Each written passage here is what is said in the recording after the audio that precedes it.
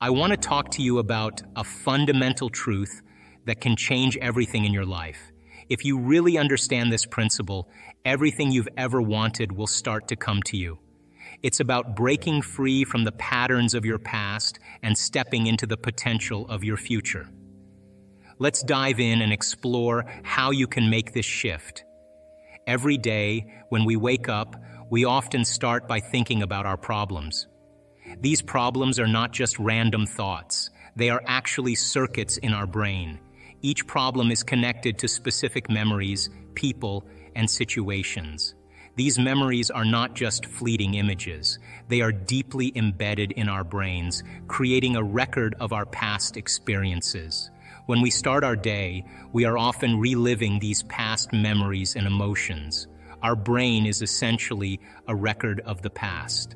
When we wake up and start thinking about our problems, we are automatically thinking in the past. Each of these memories carries an emotion, and emotions are the end product of past experiences. So the moment we recall those memories, we start to feel unhappy, sad, or even in pain.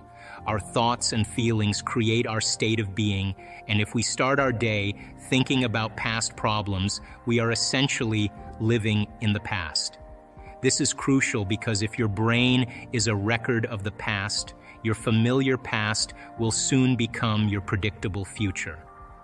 If you believe that your thoughts shape your destiny, but you can't think beyond how you feel, you're essentially stuck in a cycle where your emotions are controlling your thoughts. This means you'll continue to create the same life over and over again. Let's look at how this plays out in our daily lives. Most of us start our day in a very predictable way, the first thing many people do when they wake up is reach for their cell phone. They check their messages, emails, or social media. This habit gives them a quick sense of connection to their familiar world. It's like a comfort zone where they see updates and notifications from people and things they know. This helps them feel grounded and connected, but it also reinforces the same patterns and routines they've been following. After checking their phones, people usually follow a set daily routine.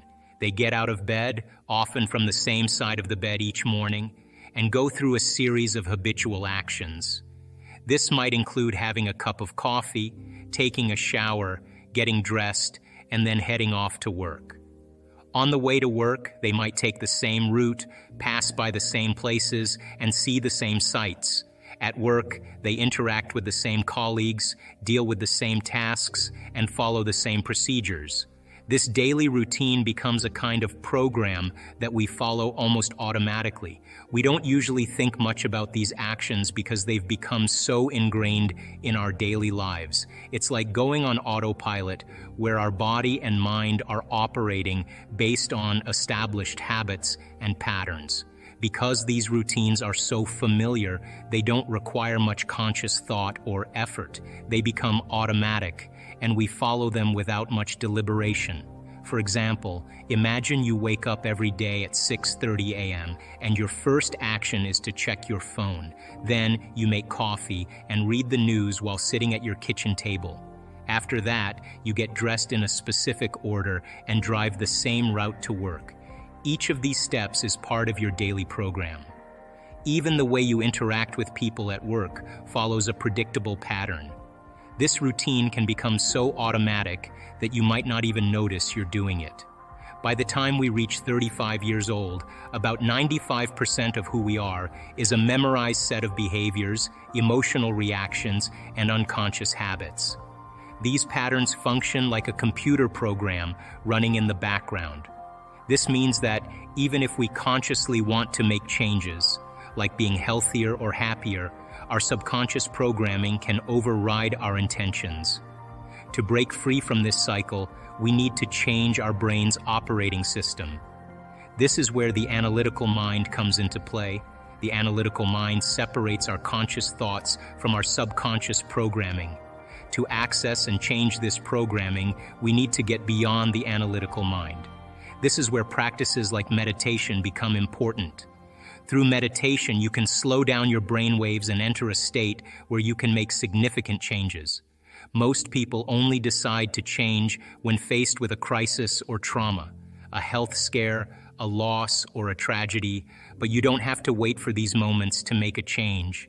You can learn and transform in a state of joy and inspiration just as easily as in a state of pain and suffering. Many people spend a significant part of their lives living in survival mode, constantly anticipating the worst-case scenarios based on past experiences. This anticipation conditions their body to be in a state of fear, and they become addicted to the emotional rush of these fears. They use their problems to reaffirm their limitations, feeling something, even if it's negative, rather than feeling nothing. When people wonder why they keep falling back into their old habits and patterns, they often look to their past experiences for answers. They say things like, I keep doing this because of what happened to me before. But what's really going on is a bit deeper than just remembering past events. Every time someone thinks about an old event, their brain and body start reacting as if that event is happening all over again. Let's say you had a tough situation years ago, like a stressful job or a difficult relationship. If you keep thinking about that event, your brain and body respond in the same way they did back then. It's like a replay button that keeps pressing itself, making you feel the same emotions now as you did then. Here's why this happens. Your body is like a storage system for your past experiences. It doesn't just remember what happened, it also holds on to the feelings that came with those experiences. This means that when you recall a stressful event, your body starts to feel stressed again. It doesn't matter if the event happened years ago or if it's just something you're thinking about. The feelings you had in the past come rushing back as if you're living through them right now. Think of your body as a kind of unconscious mind. It's always working behind the scenes, reacting to whatever thoughts and feelings you're experiencing. When you think about a past event, your body doesn't know the difference between what's real and what's imagined. It responds to your thoughts as if they were real events happening in the present. So, if you're constantly worrying about a negative future scenario, your body reacts as though it's already happening. This means you start to feel anxious or stressed, even though nothing is actually going wrong at the moment. This automatic response is why it can be so hard to break free from old patterns. If you keep thinking about past problems or future worries, you're essentially setting yourself up to repeat the same emotional responses over and over. Your body gets used to these feelings, and they become a kind of default setting. This makes it really difficult to change your habits or feelings because you're always reacting based on the same old patterns. For example, if you had a bad experience with public speaking, you might continue to feel nervous every time you think about speaking in front of others. Your body remembers the fear and anxiety from the past, and it reacts as if you're about to face the same situation again. Even if you're in a different setting or the stakes are lower, your body doesn't know the difference. It just responds based on what it has learned from past experiences. To start changing this, you need to understand that your body and mind are deeply connected. The way you think and feel influences how your body reacts. If you want to change your patterns, you need to start by changing the thoughts and feelings you have about your past and your future. This means becoming aware of the old patterns and choosing to focus on more positive and supportive thoughts instead. Here's where understanding this principle becomes transformative. Your body and mind are deeply interconnected. If you want to change your life, you need to shift how you think and how you feel. You can't wait for external circumstances to change before you start feeling differently. Instead, you need to feel the emotions you want to experience as if they are already part of your life. So how do you make these changes? Start by taking some time out of your busy life. Turn off your cell phone, TV, and computer. Sit quietly and close your eyes. This is the first step. When you center yourself and focus on the present moment, you harness more energy to create the future you want. As you settle into the present moment, ask yourself what kind of future you want. What do you want to experience in your life? Take the time to answer this question and begin to contemplate and think about the answer. This process changes your brain. It fires new sequences and patterns, which is the beginning of changing your mind. Next, decide on the emotions you want to feel in your future. Teach your body what these emotions will be like. Don't get up until you begin to feel those emotions genuinely. This step is crucial because you need to emotionally condition yourself to align with your future goals. Now rehearse in your mind who you want to be when you open your eyes. Think about the actions you need to take, the choices you need to make, and the steps you need to follow. Review these mental rehearsals repeatedly. The more you practice, the more your brain starts to map out this new reality. You must also decide what thoughts, behaviors, and emotions no longer belong in your future. Write down thoughts like, I can't, it's too hard, or I'll start tomorrow. Recognize the behaviors that hold you back, complaining, blaming, making excuses, and become conscious of them. Change them. To truly transform your life, it's essential to align your body with a new mindset. Let's break this down into simple steps so you can understand and apply it to your own life. First, think about what you want to achieve. Maybe you want to be wealthy, healthy, or successful. It's crucial to recognize that to achieve these goals, you need to change more than just your actions. You have to change your feelings and your emotional state as well. Your body needs to adapt to match the new reality you're working towards. If you want to become wealthy, for example, you can't keep feeling like you're poor or lacking.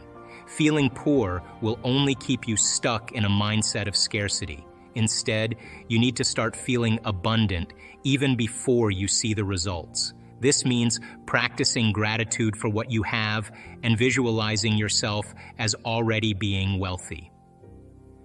Imagine how it feels to have financial freedom, how you would act, and how you would feel. Let those positive emotions become a part of your daily life. Similarly, if your goal is to be healthy, you can't hold on to feelings of insecurity or fear about your health. If you constantly worry about getting sick or feeling unwell, you're creating stress and negativity in your body. Instead, you should focus on feeling confident and strong. Visualize yourself in good health and feel the emotions of vitality and energy. Practice feeling positive and strong every day even if you're not fully there yet. Your body will start to align with these new feelings, and you'll be more likely to take actions that support your health. The key is to condition your body to match the emotions of your new goals. This means practicing feeling the way you want to feel, even if your current reality doesn't match it. For instance, if you're aiming for a new job or career, start by feeling successful and capable now. Imagine yourself succeeding in your new role, and let those feelings of accomplishment and confidence fill you up. One way to do this is through regular practice. Spend a few minutes each day visualizing your desired outcome. Close your eyes and imagine living your ideal life. How does it feel? What are you doing? Let those feelings become real to you. This practice helps rewire your brain and body, aligning them with the reality you want to create. By following these steps every day, you begin to change your personality, which in turn changes your personal reality. Your personality is made up of how you think, act, and feel. Changing any one of these elements changes your life. The key takeaway is that you have the power to create your future by changing your thoughts, emotions, and actions. The future is not something to be predicted, but something to be created. When you understand this principle and apply it consistently, everything you desire will come to you. 4. You shut the alarm clock off with the same finger, you slip into your favorite slippers, you shuffle into the bathroom and you use the toilet like you always do, then you walk over to the mirror and you look at yourself to remember who you are. Then you get into the shower and you wash yourself in the same routine way. Then you groom yourself to look like everybody expects you to look. Then you go downstairs and you drink coffee out of your favorite mug. Then you drive to work the same way as you did the day before. You see the same people that push the same emotional buttons. You do the exact thing that you know how to do, and you memorize and can do so well that you're an expert at. Then you hurry up and rush home so you can hurry up and check your emails, so you can hurry up and go to bed, so you can hurry up and do it all over again. Now, here's my question Did your brain change at all that day? We could say that you were thinking the same thoughts, performing the same actions that create the same experiences, that produce the same emotions, but secretly expecting something to change in your life. So then, as the environment turns on different circuits in your brain, you begin to think equal to your environment as you see the same people and go to the same places and do the same things at the same time. It's the external environment that's turning on different circuits in your brain, causing you to think equal to everything that you know. And as long as you think equal to everything that's familiar and known to you, what do you keep creating more of? Same life. The same laws still applying to you. You're just thinking equal to everything that you know, and you keep creating more of the same. To change, to truly change, is to think greater than your environment. And every great person in history knew this, whether it was William Wallace or Mahatma Gandhi or Martin Luther King or Queen Elizabeth I or Joan of Arc. They all had a vision. They all had an idea, couldn't see it, couldn't smell it, couldn't taste it, couldn't feel it. It was alive in their mind. It was so alive in their mind that they began to live as if that reality was actually happening now. So, can you believe in a future that you can't see or experience with your senses yet, but you've thought about enough times in your mind that your brain is literally changed to look like the event has already happened? Neuroscience says it's absolutely possible. Now, your personality, your personality creates your personal reality. That's it, it's that simple. And your personality is made up of how you think, how you act, and how you feel. So the present personality who's sitting here today, you, has created the present personal reality called your life. Now we're talking about innovation. Now, once the idea comes, the next step is that you have to take action. Now, that means that you have to be willing to step into the unknown. It means that you have to step outside the familiar self. When we begin to get creative, something unusual happens. We stop living by those survival emotions. Those survival emotions alter our perception and cause us to look at the future through the lens of the past.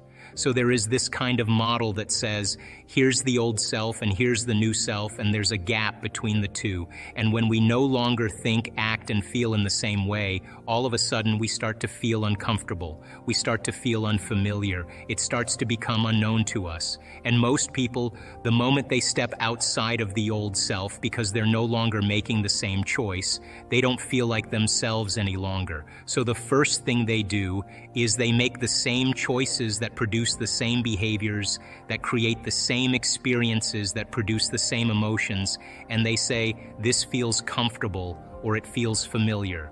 The person, the maverick who's willing to step out into the unknown, that unknown is the perfect place to create from.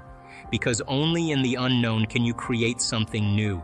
And if you and I can become comfortable in that unknown place, then the best way to predict the future is to create it teach your body emotionally what that future feels like before it happens. Now, why? Well, the stronger the emotion you feel from the future you're creating, the more you're going to pay attention to the pictures in your mind and you're going to begin to remember your future. And biologically, it's the same as remembering your past. So then you have to stay in the feeling of that future in order for you to be aligned to that destiny when people start crossing the river of change from the old self to the new self because they're no longer thinking, acting, and feeling in the same way, there is literally a biological, a neurological, a genetic, a chemical death of the old self. And this dark night of the soul, this unfamiliar place, is the true value, the true step towards developing a new self. And then if you can teach your body emotionally what the future will feel like, that means that you're not going to wait for your wealth to feel abundant or your success to feel empowered, or your new relationship to feel love. In fact, the moment you start feeling abundant, you're generating wealth. The moment you start embracing empowerment, you're stepping towards your success. If you get up from a creative process and you feel grateful, you feel a love for life, you feel a joy for existence, you feel a passion for the moment, you will not be looking for your future because you'll feel like it's already happened. When you get to that moment where you have that feeling, that's your compass, because that feeling is going to drive your behaviors. It's going to drive more of those thoughts. And when you feel that feeling and it's visceral, no person, no thing, no experience will stand in the way between you and that vision, and you will be initiated by the universe into wealth. Thoughts are the electrical charge in the quantum field, and feelings produce a magnetic charge in the quantum field. And how you think and how you feel broadcasts electromagnetic energy that influences every single atom in your life. The thought sends the signal out, and the feeling draws the experience back to you. My daughter probably is really the greatest creator I've ever come across in my life. My daughter was 15 years old, and it was the summertime, and she sat down with me, and she just, by the way, had finished her last creation, which was acting in a music video that she created that became number one in the United States on the charts. So she was with me in the summer, and I said, So Gigi, what do you want to work on next? What do you want to work on? And now she's 15 years old, so you can imagine. She said, I want an unlimited shopping spree. Now, what am I going to say to her? No. I said, okay, here's the deal. You got to practice this every day, and I want you to get very clear on your mind on what it would be like to have the most amazing shopping spree of your life but you can't get up as the same person who sat down in your meditation. You have to get up like you just had the most amazing shopping spree and you shopped your brains out. And what do you think she said? No problem, Daddy. And so it was the summertime, and in the summertime, children love their freedom. But she worked with me, and I wake up at 4:30 in the morning, and I do my meditation, and then I'm waiting for her, you know, and I hear the alarm clock. I hear a ruffle, you know, rustle around in there, and then I hear her settle down and I wait. And, you know, 30 minutes later, boom, the door opens up and I look at her and I go, How was it? She said, I don't know. And I said, You have to recondition your body into believing that that future event is happening to you now because your body is the unconscious mind, does not know the difference between an actual experience that produces an emotion, an emotion that you fabricate by thought alone. And you have to change the circuitry in your brain neurologically to look like the event has happened then you have to emotionally condition your body into believing that future event is already done. And when your thoughts and feelings are aligned, when your mind and body are working together, you're headed for a new destiny. Now, there were some mornings she didn't want to do it, but I kind of knocked on her door and I said, Hey, come on, I did mine. You're going to do yours? And I got down on her level and I let her know that I had completed mine and I asked her to complete hers. Now I was in Washington, D.C. I'll never forget this. I was driving in the cab getting ready to do this lecture, and the phone rings, and it's my daughter on the phone. Now I can't tell if she's laughing or she's crying, but she's altered in some way.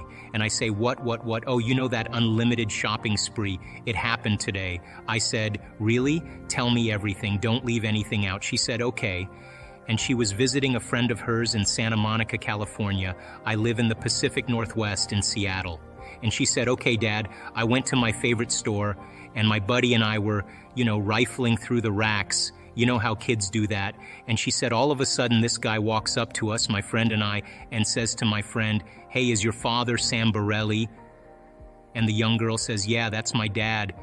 He said, okay, you two come with me. And he says, listen, your dad did me a major favor six months ago, and I've been trying to figure out a way to pay him back. And so he reaches into his pocket and he pulls out the company credit card and he said, Ladies, have a nice afternoon. The cab pulls over on the side of the road, and I say to my daughter, How much did you spend? She said, I spent $7,500 today, Dad. I said, Do you feel guilty about that? She said, Nope. And I said, Never feel guilty for anything you do, good or bad. And so I said, look, I gotta go. I'm going to call you on my way back to the airport on Sunday. Congratulations. What is gratitude? The emotional signature of gratitude means the event has already occurred. It's not just feeling the gratitude, because we know that just having an elevated emotion doesn't affect matter. We know that just a clear intention of seeing something change doesn't affect matter. They've done experiments on this. You have to combine then the clear intention with the elevated emotion. The emotion is the energy, the frequency, the carrier of the thought. The thought is the is the intent. It is the direction. It is the specific field frequency. So it's like tuning a radio dial. So if it's all about vibration, it's all about energy. When there's a vibrational match between your energy and that in that potential that exists in the quantum field, when there's a vibrational match, it's going to find you. And if you can hold on to that emotional state of gratitude, your body is living in that future, in the present moment. And that's when we begin to see the miracles happen. Getting people to go from the old self to the new self is literally crossing that river.